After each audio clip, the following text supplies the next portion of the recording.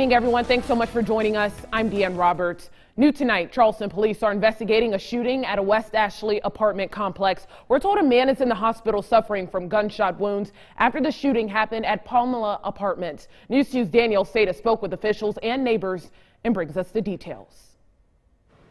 Charleston police are still here investigating tonight's shooting. Neighbors tell me that they always see police come to this complex responding to crime. No neighbors wanted to go on camera, but they tell me they heard the sounds of gunshots coming from outside. Tonight, Charleston police responded to a shots fired call at the complex. They tell me one adult male sustained gunshot injuries and was taken to MUSC.